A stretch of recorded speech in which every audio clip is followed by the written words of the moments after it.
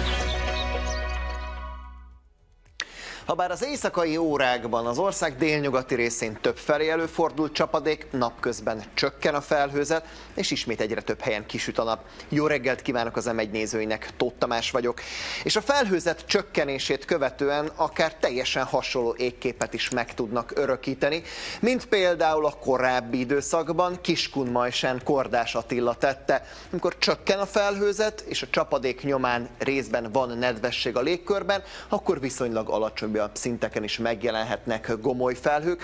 Egyébként az égbolt színe láthatják ezen a képen is mélykék. Nagyon szépen köszönjük a tudósítást onnan a kiskunságból, és önöket is biztatnám, hogy szerte az országból vagy a Kárpát-merencéből küldjenek minél több időjárással kapcsolatos képet. Címünk változatlan, meteorfotokukac mtva.hu. Itt pedig már az európai mára vonatkozó hőmérséklet előrejelzést láthatják, és bizony az is szépen látszik, hogy ugyan a Kárpát-medence egy jó részén 20 fok körül vagy kevéssel lefelett alakul a hőmérséklet, a hűvös levegő nem szorult ki teljes egészében Európából, nem engedi egyenlőre a meleg levegőt, nagyobb területeket meghódítani, ami egyébként a szubtrópusi területeken halmozódik.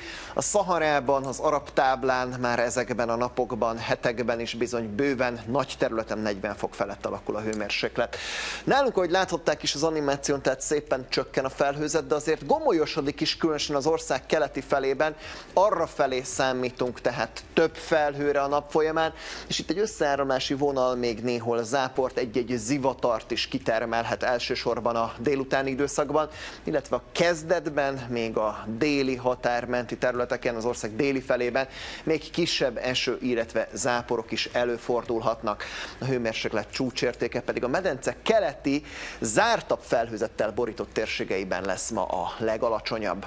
És felhőkből nem lesz lesz a következő napokban sem hiány. Szombaton és vasárnap főként az ország északkeleti felében, harmadában várhatók szorványos jelleggel záporok, zivatarok, majd nő a légkör nedvesség tartalma a jövő hét elején, és bizony ekkor már több helyen, másutt is az országban számítani lehet csapadékra, ezzel együtt pedig a hőmérséklet is valamelyes csökken.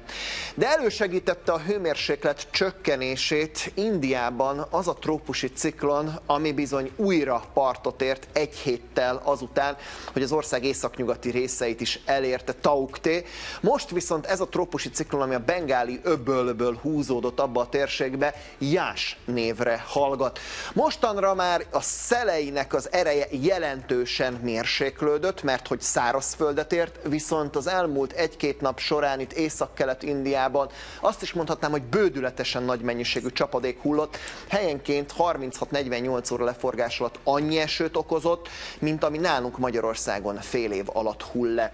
Még a partotérés pillanatában viszont bőven viharos széllökések kísérték, amelyek fákat szaggattak meg, illetve villanyvezetékeket szakítottak le, sőt egy-egy zivatar felhőt még bizony tornádó is kísért, legalábbis az indiai felvételek tanulsága szerint, illetve áradások is pusztítottak abban a térségben. Egyébként hamarosan megérkezik ott, oda is a monszun, de ez még a monszun előtti időszakban időszakban következett be. Én most búcsúzom, kedves nézők, legyen szép a napjuk, viszontlátásra!